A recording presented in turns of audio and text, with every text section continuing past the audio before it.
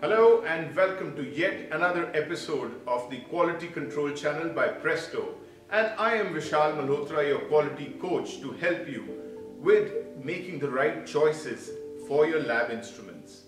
Today I'm going to showcase to you the difference between an analog bursting strength tester and a digital bursting strength tester.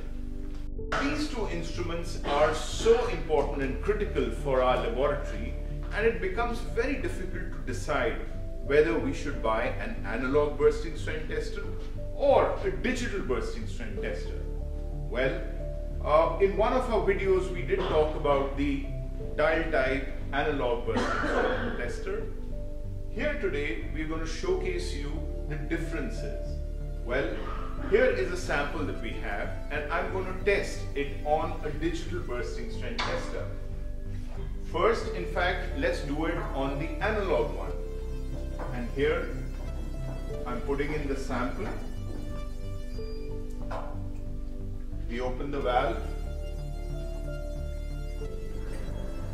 And on a 0 to 35 kg per centimeter equipment, we are doing this test. Here is the burst test and the reading has come to about 7 kg per centimeter square. Now this same sample, I'm going to put it in a digital bursting strength tester.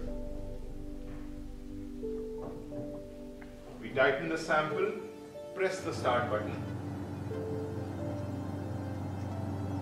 The reading is increasing now.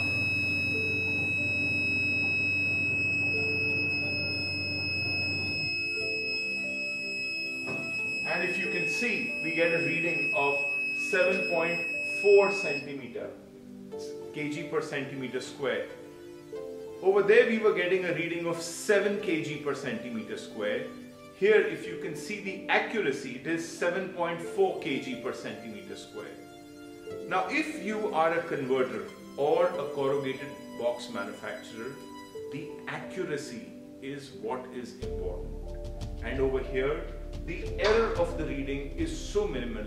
Also, another big advantage if you buy a digital bursting strength tester is you can calibrate it in-house. Though we give you an NABL traceable calibration certificate, you can still calibrate it in-house using aluminum foils purchased from us. So here was the difference between the two.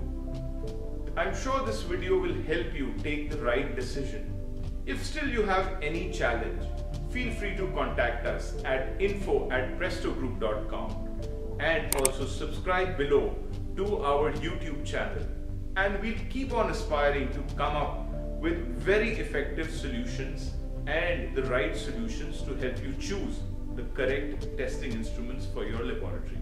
Thank you so much.